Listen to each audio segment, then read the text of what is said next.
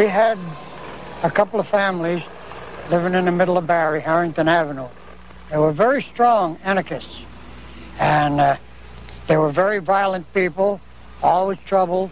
Every Saturday night there'd be a party, and generally ended up in a fist fight, you know. And uh, they were bad men with knives. They did a lot of their talking with their knives. But uh, I was only 9, 10, 11 years old, so I don't remember too good. But uh, of course, like we say, the good people didn't have nothing to do with them.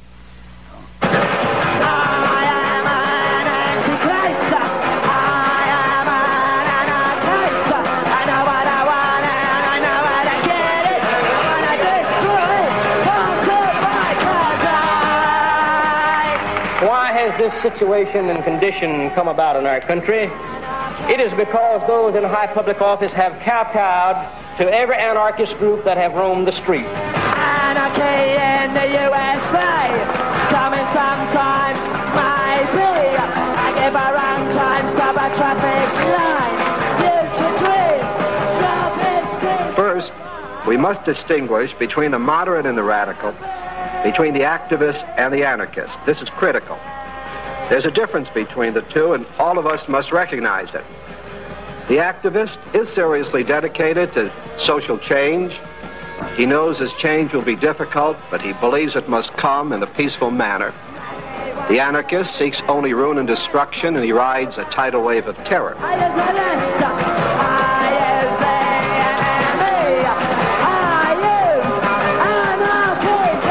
Extremists are extremists, white, black, or whatever they are. And extremism, and extremism is the midwife of anarchy.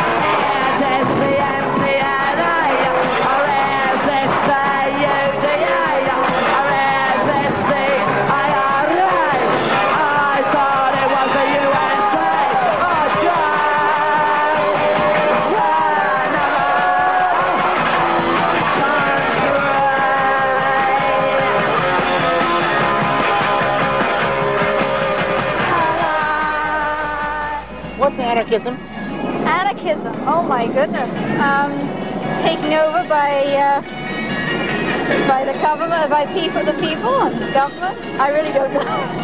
I know it's all uh, a big mess. What's anarchism? Anarchism is when anyone do, does whatever they want without concern for anyone else. What what what kind of image does that evoke for you? Chaos. What's anarchism? I would say that uh, it's the uh, a person trying to push his views down everybody's throat. What do you think? And what do you think? Anarchy, um, yes, I think I'd agree with that. It's uh, a, a dominant view of one person over everyone else. You know, uh, do you know anyone who's an anarchist now? Yes, I do. Who's that? The Ayatollah Khomeini. Another conference, which a friend of mine is organizing in Montpellier. Montpellier. I was surprised I was able to even sit for one or two of those speeches. He taught a class on God, and he gave me the Hannah Höch and Raoul Hausman and some of the John Heartfield and Ultra Man Ray fanatic. Oh, I think it is very, very necessary to remain in my country and to, and to act in my, in my life. Yes, with I've thought of it often. What originally attracted me to anarchism, I wasn't attracted. I was uh, conscripted. no, I was born into an anarchist family, and uh, anarchism was like mother's milk to me, right? Everybody talked about it all the time when I was a child. No, I, I don't think that Marx would ever have uh, uh, converted to other ideas I had. Uh, he was too authoritarian for that. Uh. I think he was quite set in his ways. yes, yes, unfortunately. I think anarchism to most people does mean bomb throwing. The first, but they don't know that it's an idea at all, and a whole a whole political philosophy and a moral philosophy. Are you here at the symposium? You're an anarchist? Am I an anarchist? Um, I have studied all kinds of philosophical and political systems. I don't think I'd live up to any of them, but I do believe in personal freedom. And I believe that in order to change anything, you have to change yourself. So I don't know if that's anarchy. Almost anyone, I suppose, could call himself or herself an anarchist if he or she believed that uh, society could be managed without the state. And by the state, I don't mean uh, the absence of any institutions, the absence of any form of social organization. The state really refers to a professional apparatus of people who are set aside to manage society, to preempt the control of society from the people. So that would include the military, judges, uh, politicians, uh, representatives who are paid for the express purpose of legislating, and an executive body that is also set aside from society. So anarchists generally believe that whether as groups or individuals, people should directly run society.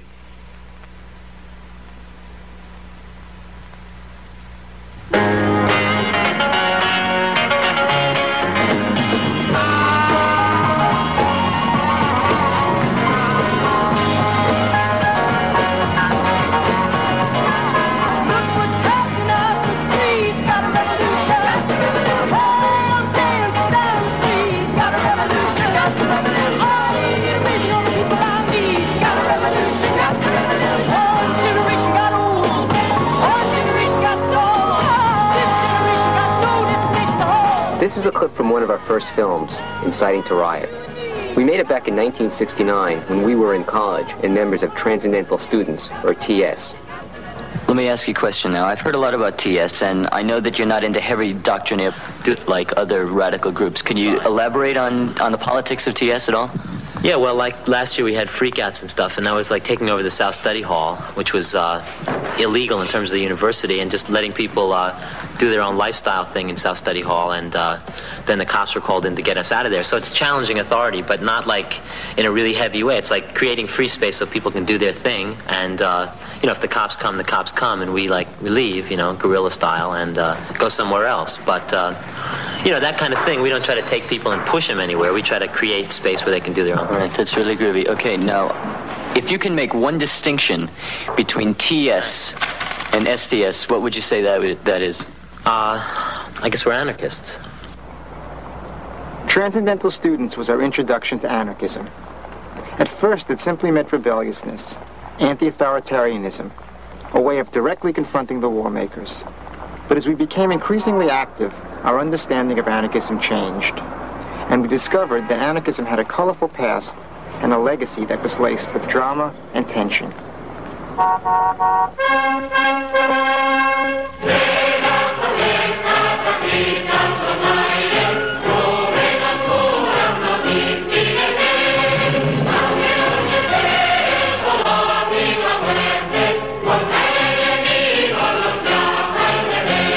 In Spain, during the Civil War of 1936, three million peasants and workers rallied under the banners of the anarchist organizations, the CNT and the FAI, to fight the fascist uprising in Barcelona.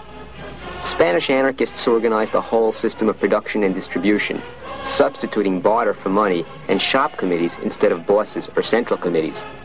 Anarchist militias went to fight at the front, with soldiers free to come and go as they pleased. Collectives established libraries, free schools, and cultural centers, often in former churches or villas of the wealthy. For three years, anarchism existed in Spain. It was the culmination of nearly a century of agitation and organization that had created movements throughout Europe, Russia, and Latin America.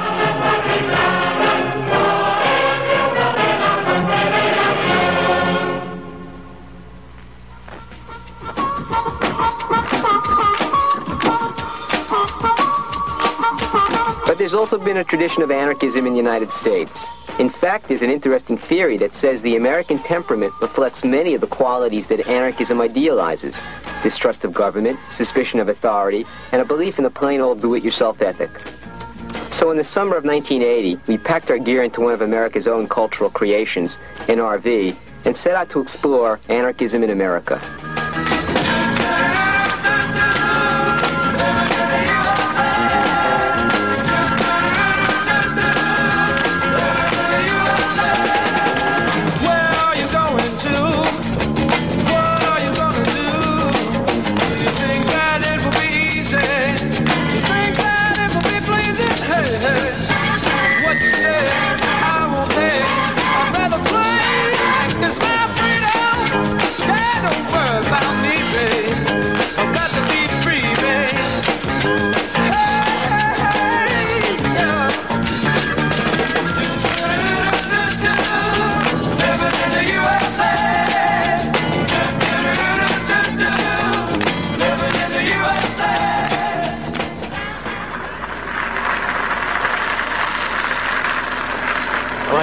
Can't show you the shed because it's got that that thing part. no, we can, it's our thing, at least temporarily. But somebody might think it's ours, and the tax collector would be here and confiscate it immediately. That that that reminds me. What, what is what's your relationship with the IRS these days? Miserable, terrible. Why is that? Well, you know they they ask every now and then when I'm going to behave myself, and I tell them never, and I don't know what they're going You, are you are you not paying federal taxes? Or? Yeah, nothing. Nothing. They don't, I guess they don't take too kindly to that. No, they think they think On it's the other terrible. hand, they're not being very active about it right now. Well, no, the last time was here. like they- it's no fun anymore or something. Something like that. Uh, the, the local people um, seem to take more of a kindly view, as though they really think it's a rotten Sure, thing, and that I'm not doing anybody any harm, and that they don't. They seem to be more sensitive or decent somehow, but I don't. I don't know. The federal people. Uh, What can they do? Put me in jail. Well, I was uh, I left school when I was 15 uh, and went to work for a radio station, and just stayed in journalism, and eventually, uh, after such places as Newsweek magazine, drifted into political writing, or writing for politicians, and I uh, became a ghostwriter for, I suppose, all of this part of our uh, century's major Republicans including uh, Eisenhower, Nixon, Ford, and by 64 was uh, Barry Goldwater's principal speechwriter. After the loss of that election, uh, I ceased to be a Republican by request and became a commercial welder. Well, after uh, after I got evicted from the Republican Party, I began reading uh, considerably more of the, the works of American anarchists, uh, thanks largely to uh, to Murray Rothbard, who is a right-wing libertarian, I guess you could say. The free market or laissez-faire capitalist is what he is, but he's very familiar with the uh, the American anarchists, and I was just amazed. And when when I read Emma Goldman, it was as though the everything I had hoped that the Republican Party would stand for suddenly came out crystallized in this magnificently clear statement. And another interesting thing about reading Emma Goldman is that you immediately see that consciously or not, she's the source of the best in Ayn Rand. She has the essential points that the Ayn Rand uh, philosophy makes, but without any of this, this sort of crazy solipsism that, that Rand is so fond of, the, the notion that people accomplish everything all in isolation. Uh, Emma Goldman understands that there's a social element to, to even science. But she also writes that all of history is a struggle of the individual against the institutions, which, of course, is what I'd always thought Republicans were saying, and, and so it goes. In other words, there, in the old right, there were a lot of statements that seemed correct, and they appeal to you emotionally, and is why I was a Republican. Isolationist, uh, uh, anti-authoritarian positions, but they're not illuminated by by anything more than statement. They just are, are good statements. But in the writing of the anarchists, the same statements are made, but with this long illumination out of experience, analysis, comparison. It's so it's rock solid, and uh, so I immediately realized that uh, I'd been stumbling around inventing parts of a tradition that was old and thoughtful and uh, and already existed. And that's very nice to discover that. I don't feel it's necessary to invent everything.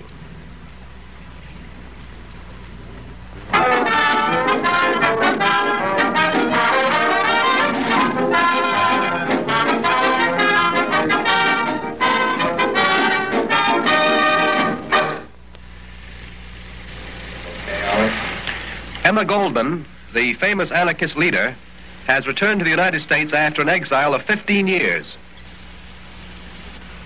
I'm delighted to be back in the United States, my hunting ground of 35 years. The country where I had my innings in the social and economic struggle, and where I decided to devote myself to the presentation of anarchism a social philosophy which aims at the emancipation, economic, social, political, and spiritual of the human race.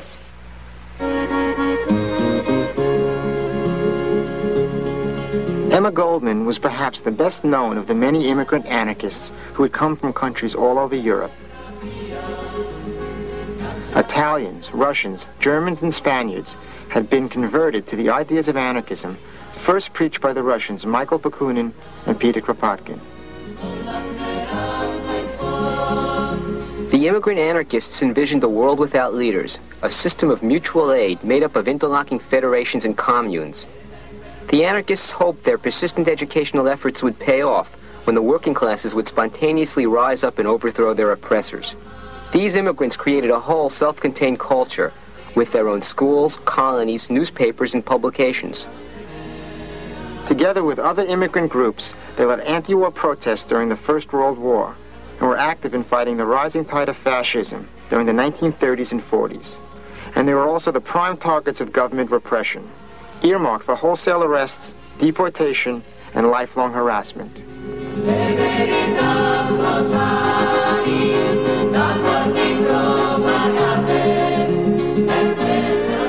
What do you think about Russia, Miss Goldman? I consider Russia and America the most interesting countries in the world today. How about Hitler? I don't know him and don't want to. What is your opinion of Italy? Beautiful country minus Mussolini. Miss Goldman, should the government here object to your uh, speeches of anarchism, would you change them or leave the country? I will leave the country rather than deny my ideas. I prefer to stick to my gun. What is your opinion of Italy? Beautiful country minus Mussolini. Miss Goldman, should the government here object to your uh, speeches of anarchism, would you change them or leave the country? I will leave the country rather than deny my ideas. I prefer to stick to my guns. Emma answered very well. She was always very sharp. Yeah, but that Emma is. She a, said, "I'll stick to my guns." That says it. Tells you everything. Ironically, our exploration of anarchism in the United States took us to Cuernavaca, Mexico. Mexico had become the land of exile for many anarchists, among them a remarkable couple, Molly Steimer and her lifelong companion, Senya Fleshin. Like Emma Goldman, her friend and comrade, Molly had immigrated to the United States when she was in her early teens. When I was in Russia and I lived through the pogroms on the Jews, or when I uh, saw the soldiers going to the war, there was war, Russia, Japan. And I saw the soldiers, the peasants going to war and how the Cossacks treated them as if they were cattle. I thought it was because it is Russian Tsarism, brutality of the Tsar. I imagine that in America the people are better, that the people are finer, they have more sentiment, more understanding of liberty, and would not mistreat one another. But then when, uh, when I saw the persecution in the United States during the war, first it began when we had the meetings against the war. Uh, especially the last meeting when Emma and Sasha were arrested they treated us all. They, they, they went with the sticks as if, uh, uh, well, there was no consideration for the human being whatsoever. Then is when I realized that any government, whether it is Tsarist government or American democracy or any liberal regime, those who have power misuse their power against the weaker individual or the masses who, who are not armed and cannot defend themselves. And I wasn't surprised anymore, no matter what they did. I expected the worst. Emma Goldman once described Molly Steimer as having an iron will and a tender heart. At age 20, Molly was part of a New York anarchist group that published an underground newspaper. In 1918, she and her comrades were arrested for distributing leaflets protesting American intervention in Russia. One of the young anarchists was beaten to death by the police. Molly and the others were convicted of violating the Espionage Act. At the trial, Molly's spirited self-defense made headlines. She declared, individual freedom shall prevail in the full sense of the word. To the fulfillment of this idea, I shall devote all my energy, and if necessary, render my life for it. She was sentenced to 15 years at the federal penitentiary in Jefferson City, Missouri, but she was only to serve a fraction of her term. Finally, in 1923, I was called to the office in Jefferson, Missouri, and told that I am to be deported and that I am to sign these and these papers. I declined. I said, I don't want to be deported. I don't want to be pardoned. You sentenced me. When all political prisoners will be freed, I will be freed. And I went back to my cell. When uh, I was told that the boys are already in Ellis Island and they're only waiting for me and that I should accept, I did not sign the papers in any event, and I said I'm not going to leave because there is a railroad strike. And I'm not going to go on a train that is led by skips. So I was kept for 10 days longer until the strike was finished.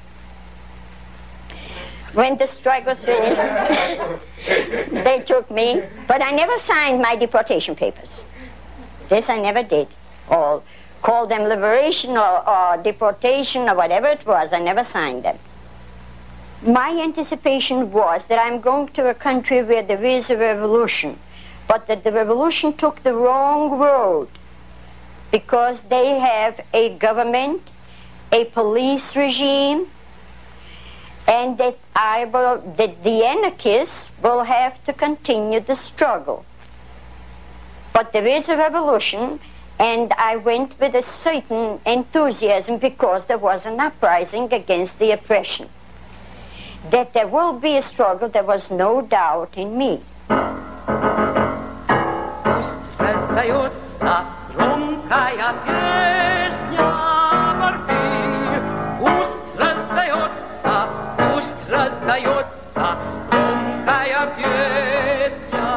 Russian Revolution of 1917 was a spontaneous uprising of peasants and workers. All across Russia, workers organized factory committees, called Soviets, and popular assemblies in the villages. Then the Bolsheviks, headed by Lenin, swiftly and ruthlessly imposed one-party rule. They claimed that the success of the revolution depended upon the people's obedience to the single rule of the leaders. The Cheka, the secret police, suppressed all non-Bolshevik factions, including the Russian anarchists. The great anarchist theoretician, Peter Kropotkin, returned from exile hoping to see his ideas of mutual aid put into practice. He died in 1921, disillusioned with the course of the revolution.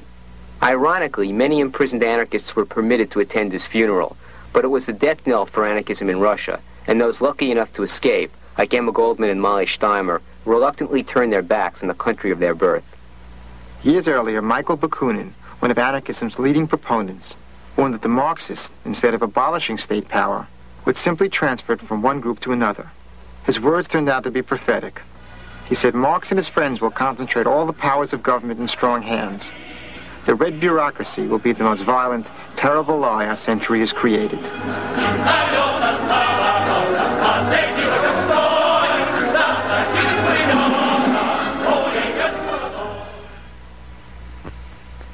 My background and how I have become an anarchist is a long, long story.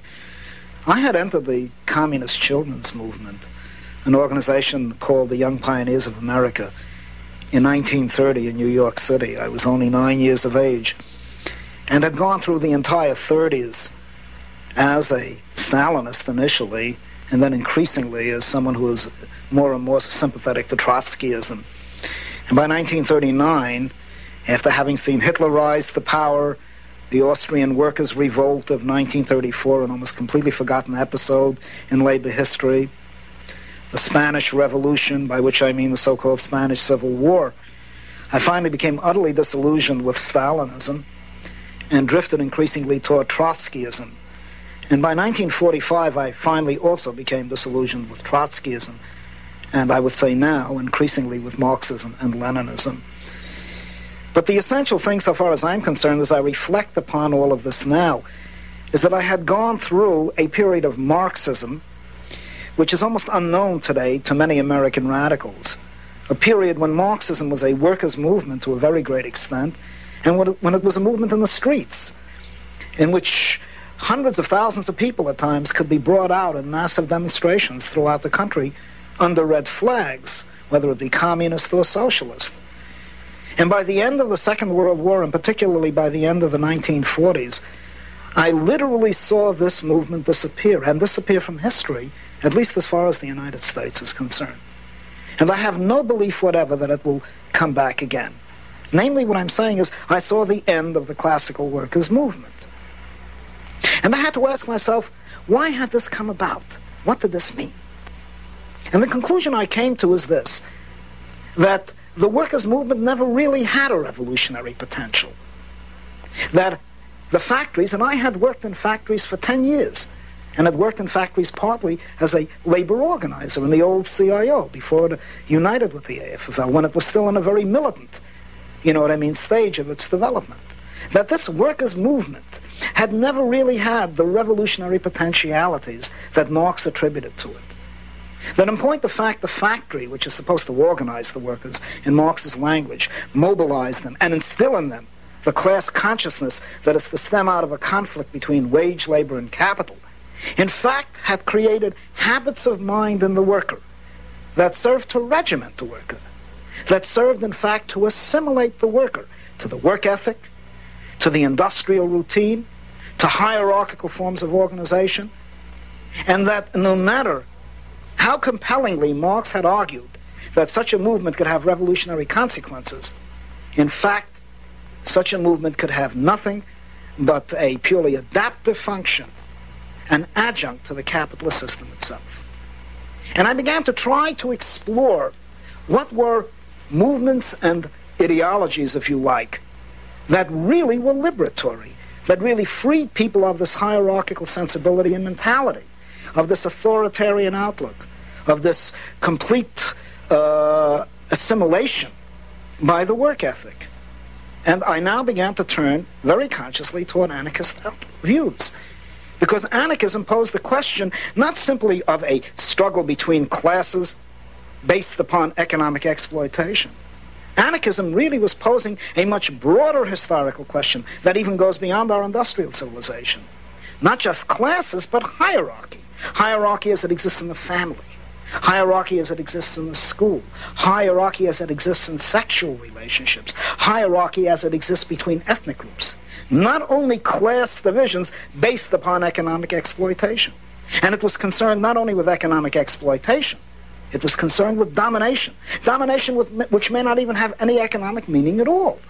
The domination of women by men in which women are not economically exploited the domination of ordinary people by bureaucrats, in which you may even have a welfare, so-called socialist type of state. Domination as it exists today in China, even when you're supposed to have a classless society. Domination even as it exists in Russia, where you are supposed to have a classless society. You see, so these are the things that I noted in anarchism, and increasingly I came to the conclusion that if we were to avoid, or if we are to avoid, the mistakes that were made over 100 years of proletarian socialism, if we are to really achieve a liberatory movement, not simply in terms of economic questions, but in terms of every aspect of life, we would have to turn to anarchism because it alone posed the problem not merely of class domination, but hierarchical domination. And it alone posed the question not simply of economic exploitation, but exploitation in every sphere of life. And it was that growing awareness that we had to go beyond classes into hierarchy and beyond exploitation into domination that led me into anarchism and to a commitment to an anarchist outlook.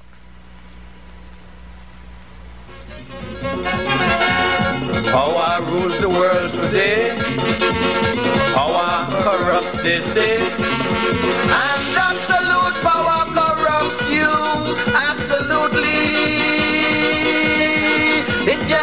A man who has a heart of gold. Make him cruel, wicked, self-centered and cold.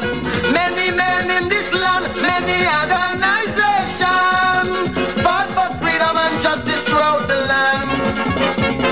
When they have power and authority, they don't give a damn about nobody.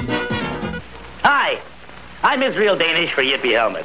You know, nature has a special way of protecting artificial and natural things. Here's an egg yolk. Look what nature has protected the egg yolk with. Nothing. Now, nature's real helmet, the natural helmet for the egg, is the calcium-lined calcium cover. Watch as policeman truncheon destroys egg. No good. Nature's helmet for the tomato, a bright red skin, is also valueless when the policeman's truncheon destroys it.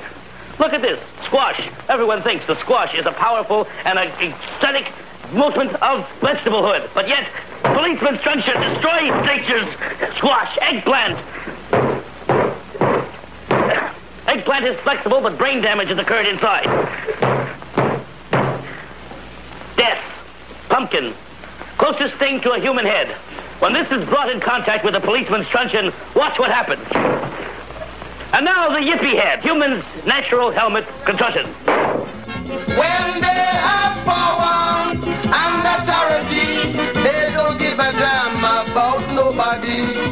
They prostituting the island, milking the land dry. They making my people starve, exploiting, oppressing, less freedom, more suffering. This thing just can't go on. Think it over, my friend.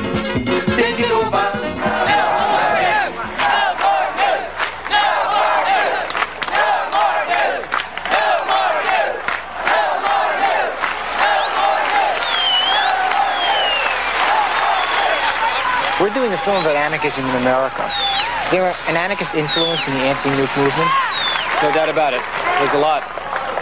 But, uh, but it's manifested itself not so much in explicit uh, opposition to the state as such, which is the most common form of anarchism, but in a way of operating that isn't centralist, where people who uh, participate in these demonstrations and want to change their lives do so on a participatory basis rather than taking orders from central authorities. That's the way it tends to go. I mean, it's not that that's always successful, but there's that tendency towards decentralism, a tendency towards consensus operation, and at least from my perspective, a tendency to uh, a strong nonviolent perspective, because I think the state is the ultimate violence.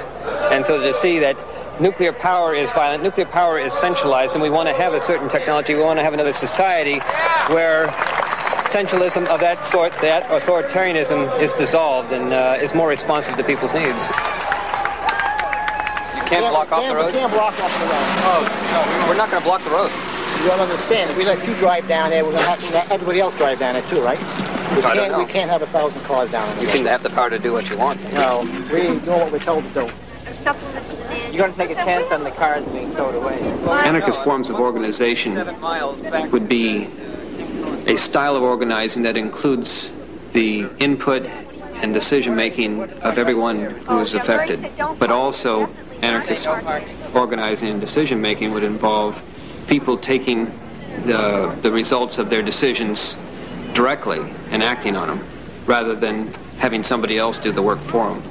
That the, it's participatory in decision making and in action. And that direct action element, which is embodied within uh, many of the civil disobedience actions in the anti-nuclear movement, such as blocking construction of nuclear power plants.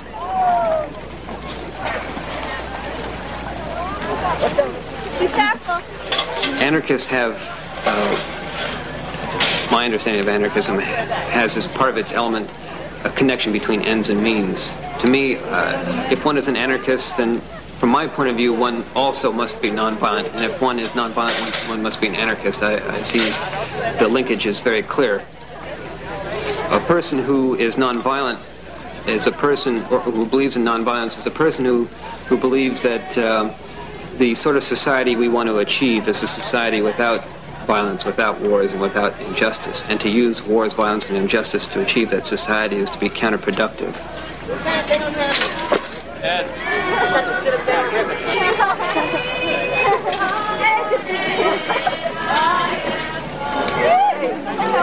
I got him more of that plastic crates.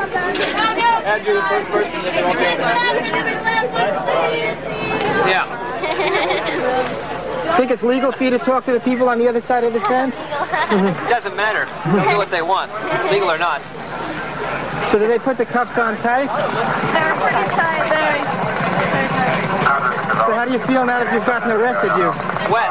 just now, Very wet. other than wet. Wet. I feel fine. You feel good about it? Well, of course. I feel we're doing the right thing. Do it otherwise. Yeah. The basic problem I really have is that whenever I meet leftists and the socialist and Marxist movements, I'm called a petty bourgeois individualist. I'm supposed to shrink under this. Usually I'm called a petty bourgeois individualist by students and by academicians who've never done a day's work life in their, their entire biography, whereas I have spent years in factories and in trade unions, in foundries and in auto plants. So after I have to swallow the word petty bourgeois, I don't mind the word individualist at all. I believe in individual freedom. It's my primary and complete commitment in individual liberty. That's what it's all about. That's what socialism was supposed to be about, or anarchism was supposed to be about, and tragically has been betrayed. And when I normally encounter my so-called colleagues on the left, socialists, Marxists, communists, they tell me that after the revolution they're going to shoot me. That is said with unusual consistency. They're going to stand me and Karl up against the wall and get rid of us real fast. I feel much safer in your company.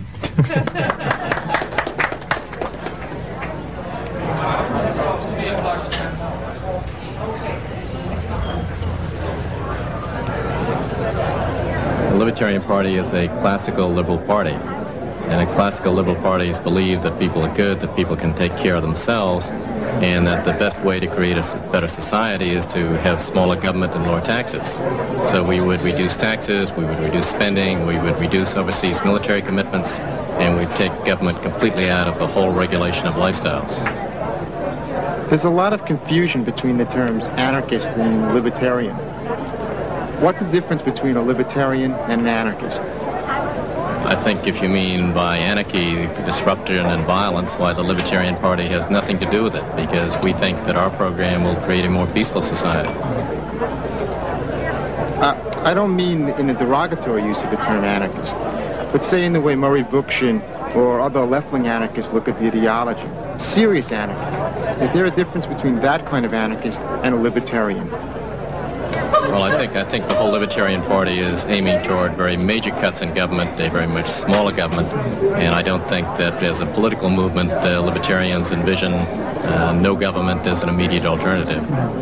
Well, it's hard to tell on the basis of the party's rhetoric because, after all, they're running for state office.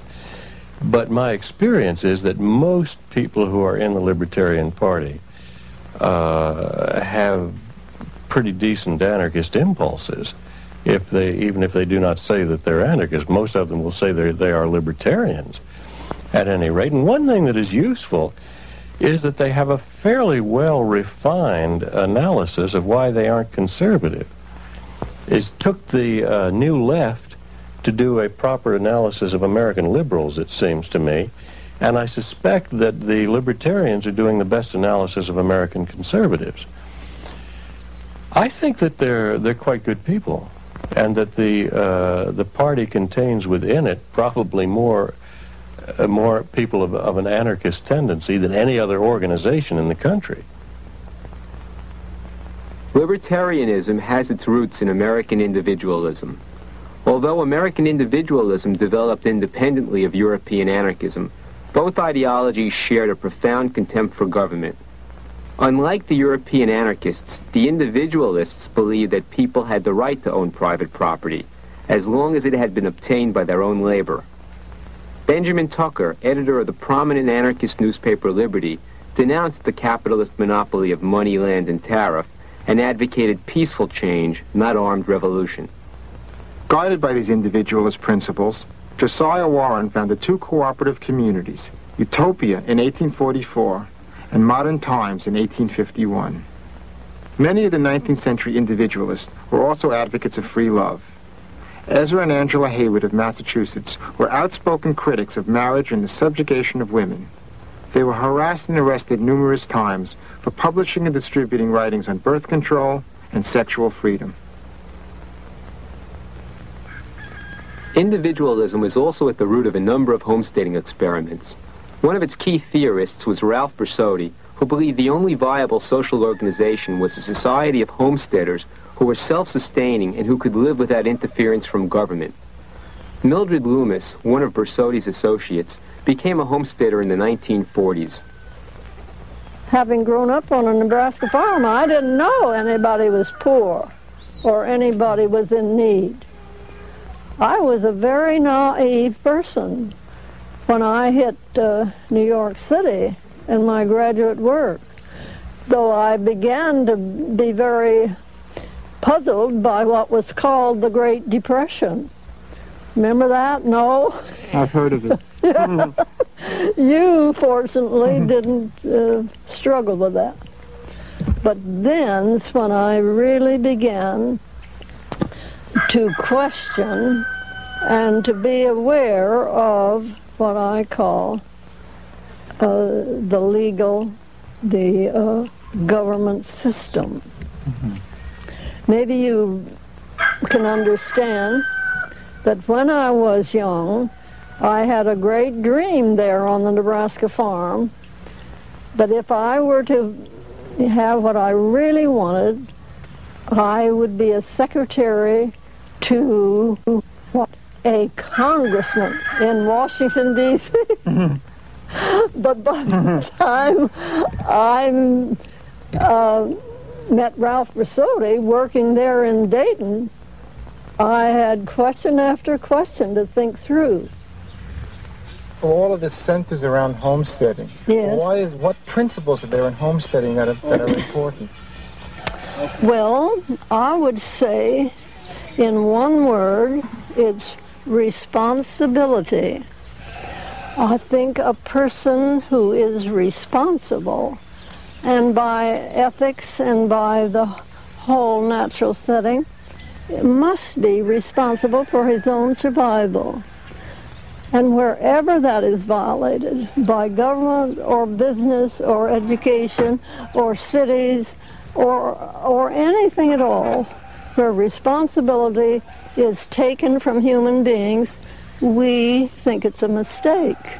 Do you see any similarities between what what you're trying to do and, and anarchism or the principles? Well, if you mean um, uh, Gilbert Tucker, uh, Benjamin. uh, Benjamin Tucker's anarchism, yes, by all means, because I years ago was thrilled by his way to get rid of the monopoly and the exploitation and get it uh, into voluntary association.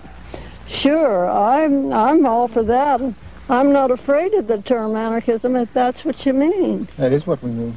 Uh huh. But you know, if it's one of these bomb throwing collectivists uh, against everything, then we uh, question the use of that term. But for good, straight, voluntary, do it yourself, we can handle, we can cope, yes. Great.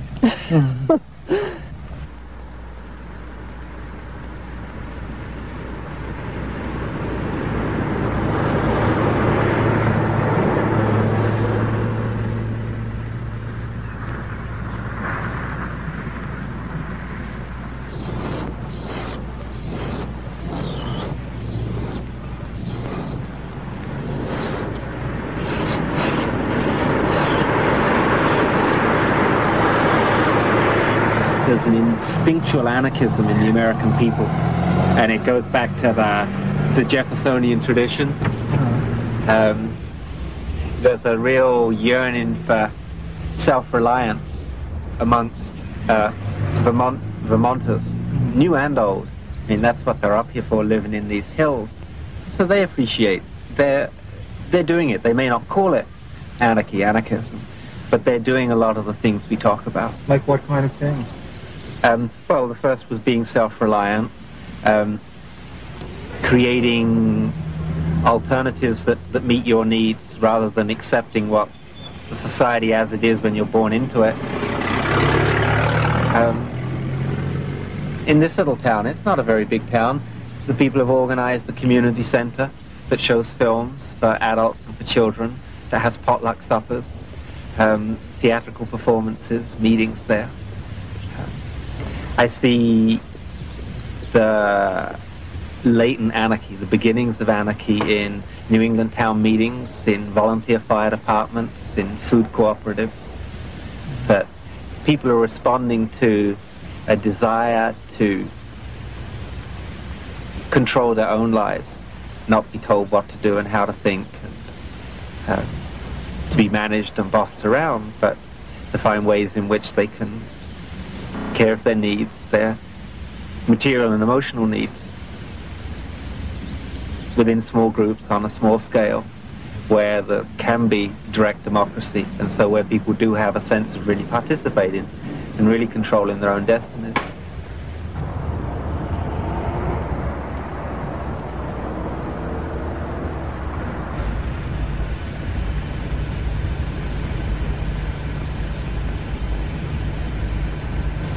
Oh, well, what makes this place different from the other Well, factories you've worked in? It makes it different because each worker has an opportunity to say whatever she likes, she or he likes to, in any of the business part.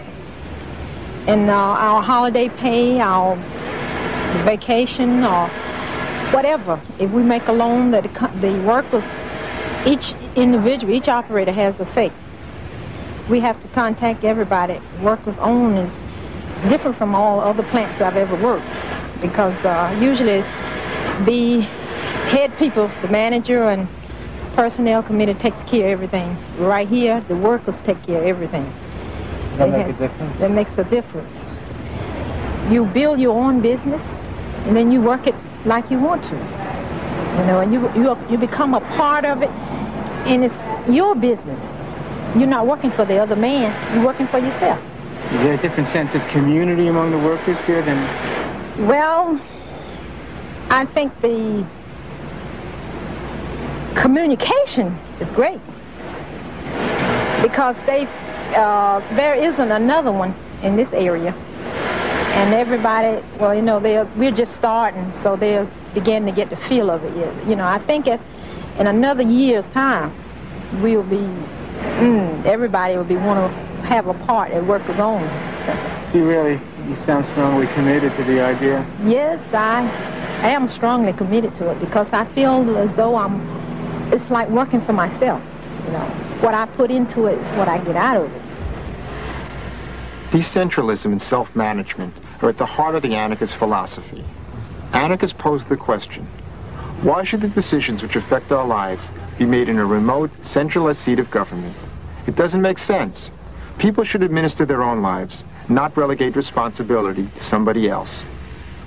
The town meeting, the block association, the factory committee, these are all examples of anarchist types of organizations.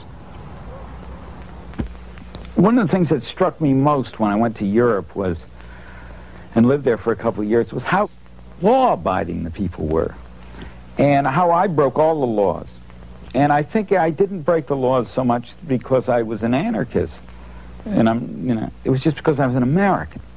I mean, if I came to a traffic light, nobody was there. I went through the goddamn thing. It was just an attitude, you know. What's the point of staying here, you know? Or if I could get, you know, if I get out on the left-hand side, and and and I I found that my European neighbors went crazy. Stay in line, you know. It was sort of the constant like, stay in line, be this way, queue up, in England, you know. And I'd say, you know, first one to the bus gets on, you know. And it was a sort of this crazy American attitude that I had, you know. Uh, and I think it was very American that we are a, a people who who are very smart. You know, that we got a lot of street smarts. I mean, we know what the law is all about. We know who made it and how it gets enforced. I mean, I think if you stop the average American say, what's the law all about? Did God make it? Say, oh, bullshit. God didn't have anything to do with it. You know made it. John D. Rockefeller made it. How can you tell an American?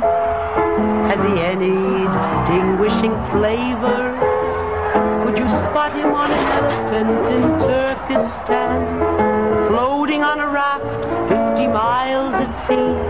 As you'd know a single leaf from the sassafras tree by its characteristic savor. It isn't that he's short or tall. It isn't that he's round or flat. It isn't that he's civilized or aboriginal, nor the head size of his hat. Despises the policeman on his beat and the judge at his assizes, the sheriff with his warrants and the bureaucratic crew for the sole and simple reason that they tell him what to do.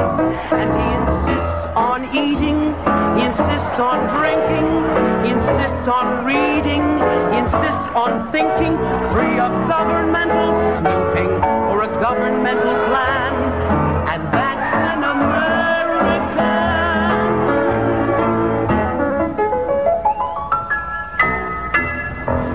First rodeo you've been to? No, this is the second time. We just moved to Truckee last year. Uh-huh. And you enjoy it? Uh, it's a great event every year.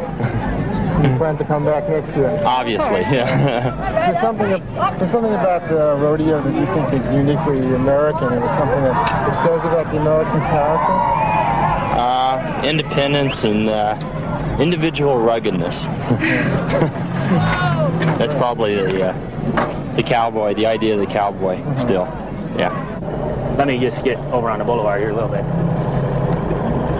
Just kind of rest here a little bit.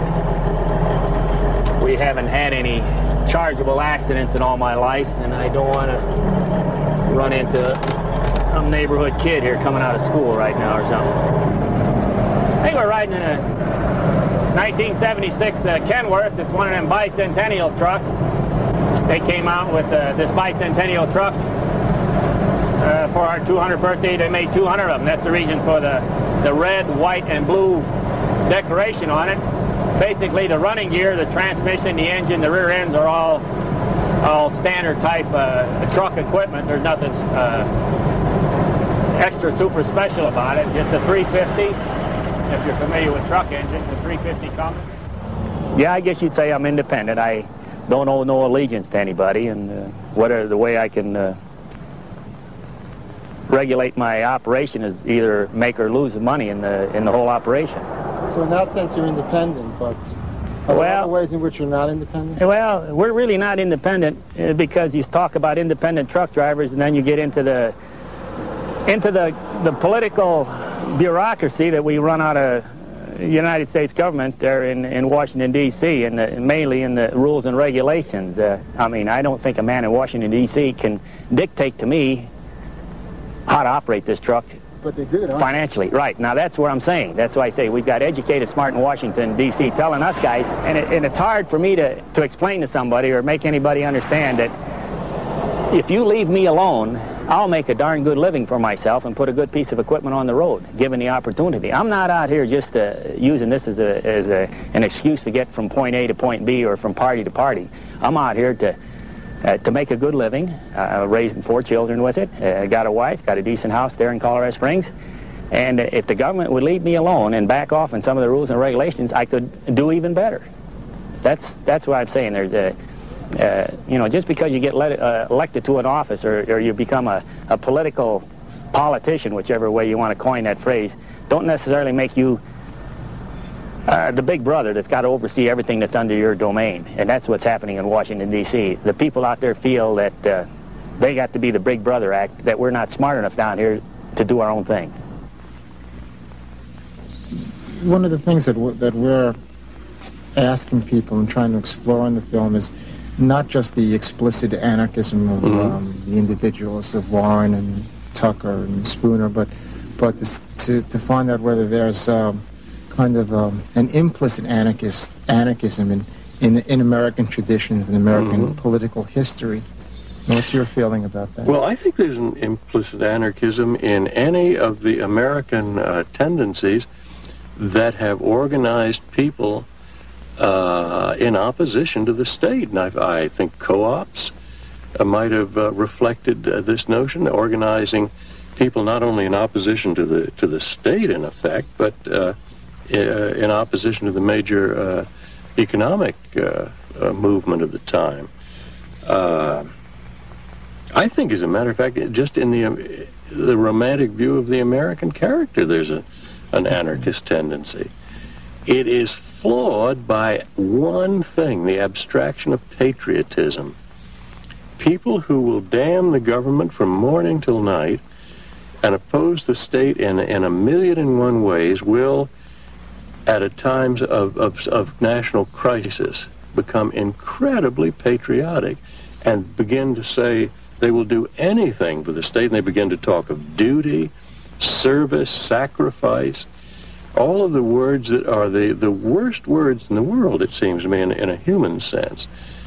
Uh, they, they begin talking about. Now, I don't know why this is, unless it is that these are such good-hearted people that they really believe that the American state is totally different from any other state, and it's certainly somewhat different, and that they feel that it is important to preserve. They feel they're preserving the country, but the only language that is available is to preserve the state. I have an idea that one of these days there will be another language in which we can talk about preserving the country, the landscape, the neighborhoods, the people, and the communities without talking about preserving the state. At which point there'll be a lot of radical farmers, factory workers, and, and small town residents in this country.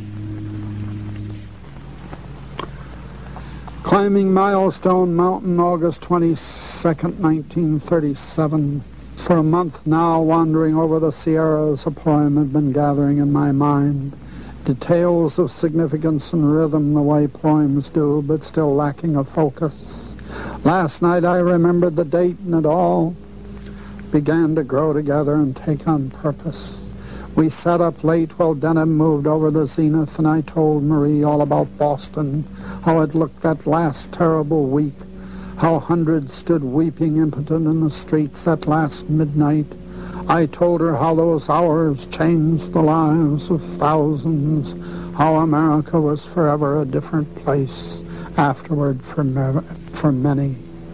In the morning we swam in the cold, transparent lake, the blue, damselflies and all the reeds like millions of narrow metallic flowers, and I thought of you behind the grill in Dedham Vanzetti, saying, who would ever have thought we would make this history?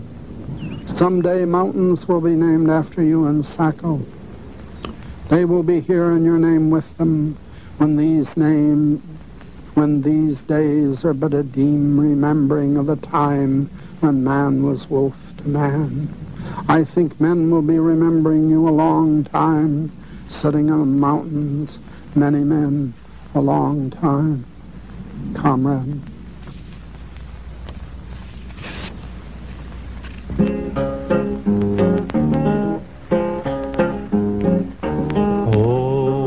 Psycho, Sacco, ho, ho, Niccolo, Sacco, ho, ho, Sacco, Sacco. I just want to sing your name. Sacco, Sacco, Sacco, Sacco, ho, ho, Sacco, Nicola, Sacco, Sacco. I just want to sing your name. Oh. Beginning with the First World War, an alliance of the Departments of Justice, Labor, and Immigration initiated a campaign of repression. Agents broke into the homes of suspected radicals, arrested them, and seized their possessions. Many were deported. Most of the victims were foreigners, usually Russians, Italians, and Jews.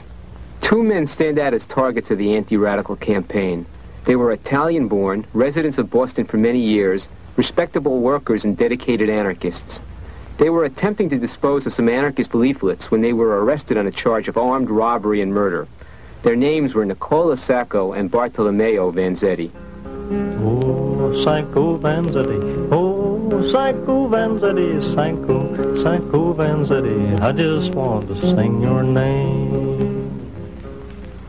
The state's evidence was flimsy, and the witnesses for the prosecution gave confused and contradictory testimony. Sacco and Vanzetti proclaimed their innocence, but they were convicted and sentenced to death. Appeal after appeal was denied. The case became an international cause. Marches and defense efforts were organized worldwide. But on August 23, 1927, the state of Massachusetts, which had condemned Sacco and Vanzetti as violent and dangerous men, mobilized 500 heavily armed policemen to suppress protests and electrocuted the two Boston anarchists.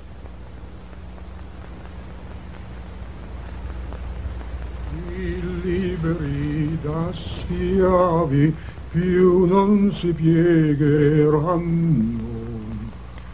Fin l'ultimo respiro si ribelleranno.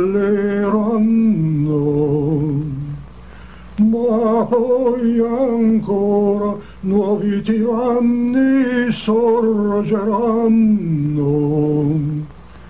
Finché nel mondo dittatori vivranno.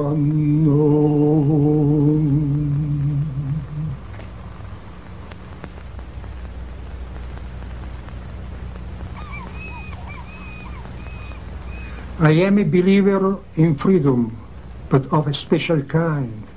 I am an anarchist, and we anarchists believe in freedom from the state, from religion, from all authority. Everybody gets so used to obey some authority or other that they come to think that without the government they cannot live. And when they hear the anarchists saying that you must be the ruler of yourself, you must be the master of yourself, you must be able to organize your own life without the authority of the government, they think that the anarchists are crazy, and naturally they get scared, getting the notion that without the shepherd to lead the sheep, it would be chaos, confusion, anarchy. You just described the reality, how the state has kind of grown to be this monster. And, and you've been an anarchist, you deserted the army, 64 years old. You just, you mentioned before that you were you're the last of a generation of Yeah. anarchists.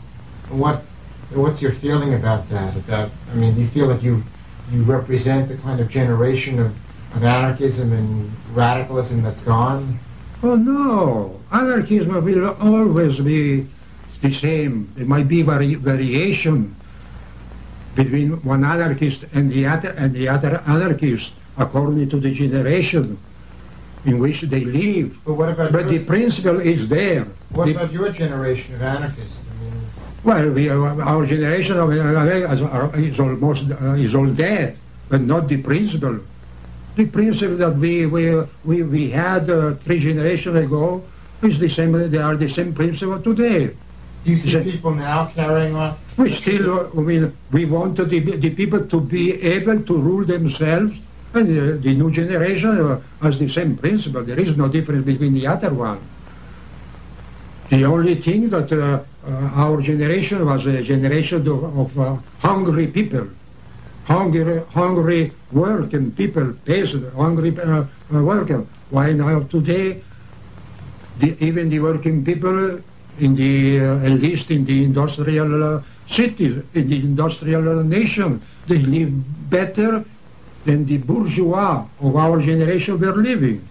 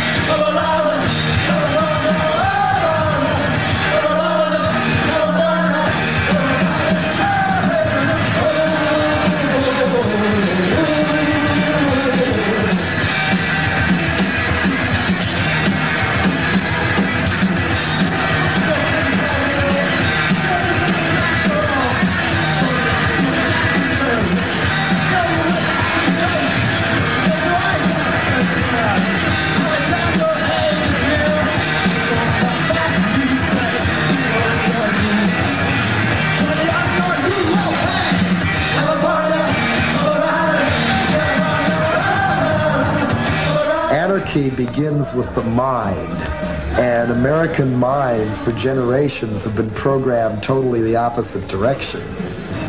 Well, okay, the film we're doing, at least at this point, is called Anarchism in America. Now, where do you think um, you fit into this film?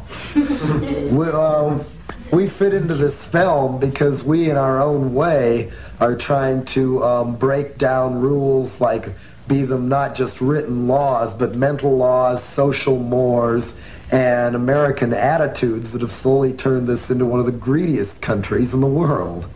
Not to try and over categorize, but what are you trying to do, you know, with your music? You, The bottom line in America, at least, is we like to get people to think for themselves. We don't like come out and say, this is our opinion, think like us or it's not cool. No, what we're saying is this is our opinion, judge it for what you will, but for Christ's sakes, have an opinion.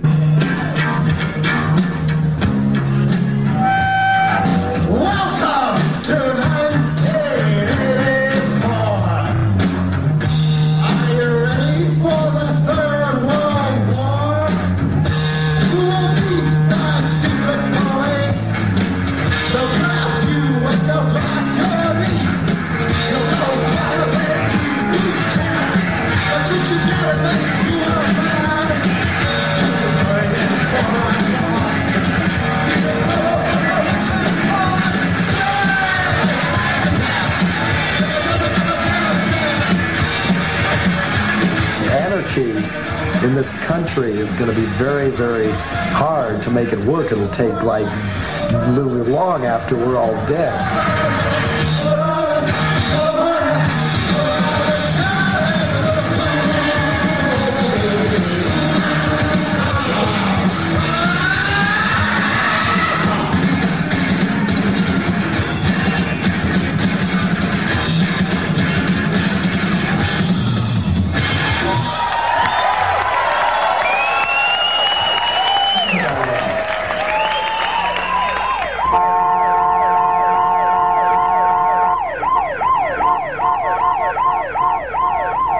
Don't believe that one can practice anarchism in this society. I believe it would be utterly illusory to contend, say, that a, a food co-op can replace general, you know what I mean, uh, Grand Union, or that uh, a so-called People's Bank, to use a concept of Proudhon, who is supposed to have been an anarchist, could replace Chase Manhattan. Nor do I think that one can go around living a holier-than-thou ethical life, you know, that uh, essentially uh, amounts to an ongoing guilt trip against other people. I find that it is basically impossible to live a thoroughly anarchist life within a capitalist society. But I do believe this, that one can try to maintain a high ethical standard. And that is one of the beautiful things about anarchism, that it brings ethics into socialism instead of mere science into socialism, such as Marx does. That one can live an ethical life. One can concern oneself personally with what is humane and what I would prefer to call libertarian behavior. One can protest and one can try to work with projects in which people learn how to take control of their lives, even if in fact they can't do so until there are fundamental social changes. Those are the commitments, I believe, that anarchism seriously poses to the individual. And it raises a very high standard. It is demanding in that respect. It demands that you search into what is a humanistic sensibility and what is a humanistic ethic.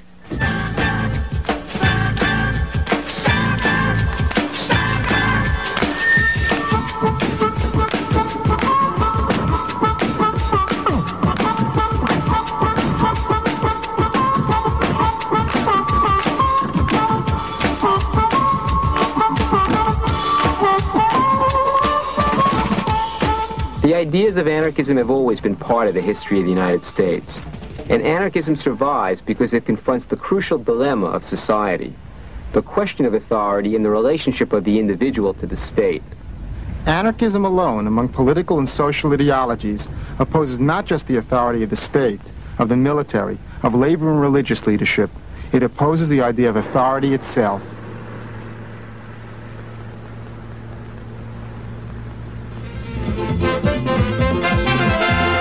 Power rules the world today. Power corrupts, they say. And absolute power corrupts you. Absolutely. It can change a man who has a heart of gold. Make him cruel, wicked, self-centered and cold. Many men in this land, many organizations fought for freedom and justice throughout the land.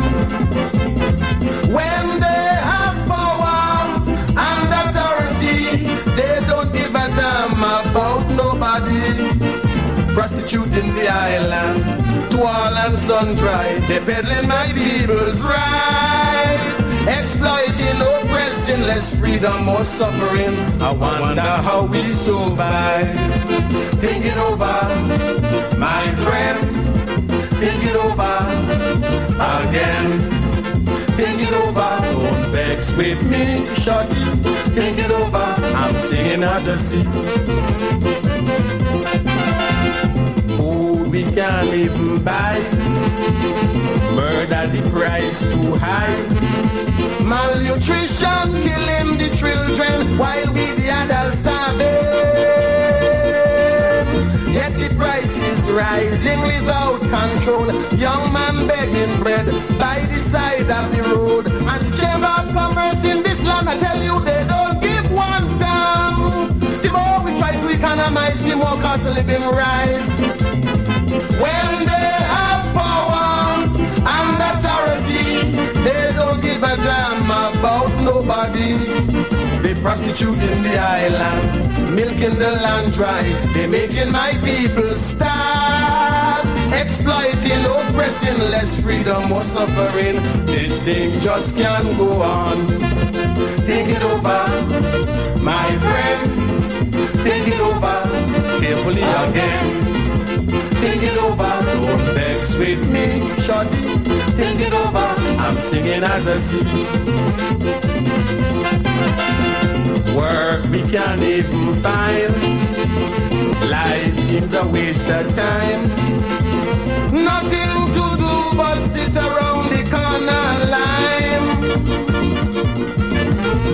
Frustrated, some would rather starve than beg. Others turn to crime and steal what they can get. And the judges have no sympathy, they're hammering everyone that they catch. Even little children are jailed